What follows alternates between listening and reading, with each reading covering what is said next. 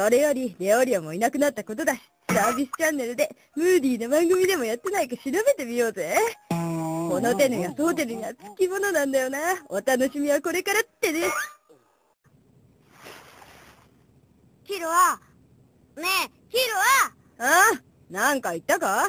これからいいところなんだよ。ゴンも見ようぜ。俺、いいや。そっか、ムーディーなのに。まだ起きてんのかレオリオおかえりやっぱり会えなかった？俺は散歩に行っただけだぜ。そっか。